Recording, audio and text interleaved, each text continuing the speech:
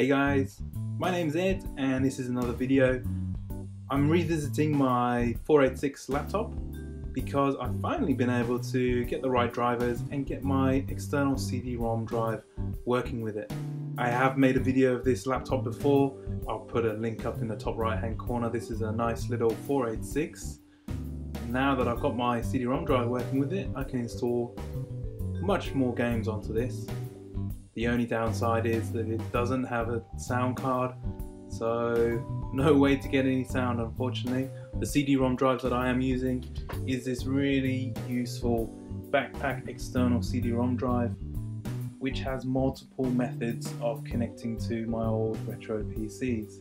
The way that I'm going to be using it today is through the PCM CIA port using this card which connects into the back very easily just like that. It also connects via parallel port but for some reason this laptop didn't want to pick it up so it might be that the parallel port has an issue on this laptop. Stay to the end and we'll see if we can get some of these games working.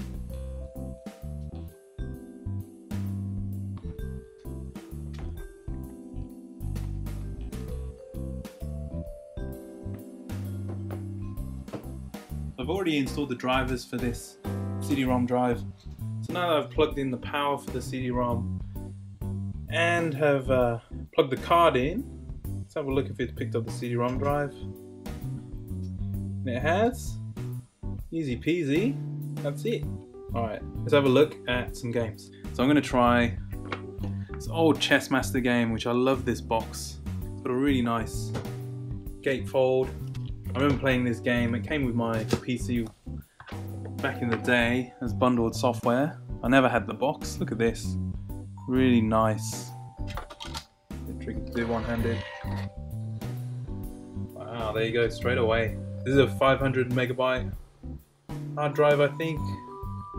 About 200 megs free, so let's go for the complete install.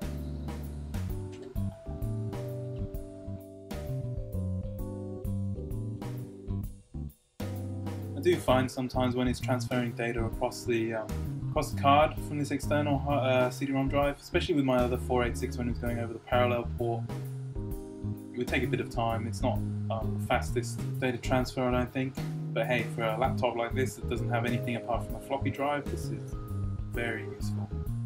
I think it's potentially installing sounds, which is a bit of a waste on this laptop because we don't have a sound card.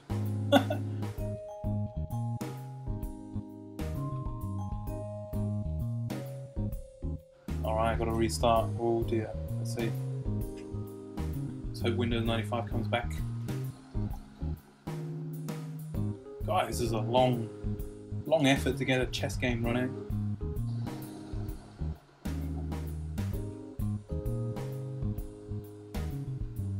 Alright. Register for free fonts. Skip that, let's go straight into Chessmaster 5000. Hey.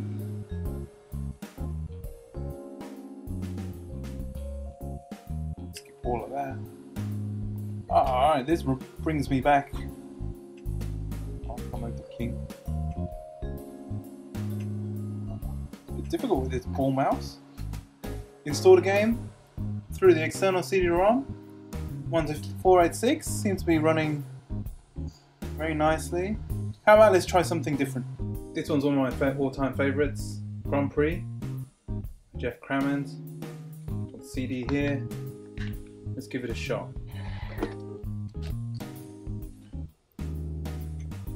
Installer. Hear the CD-ROM spinning up. I'm going to select here PC speaker, but actually this laptop doesn't even have the PC speaker in there. Is running straight from the CD.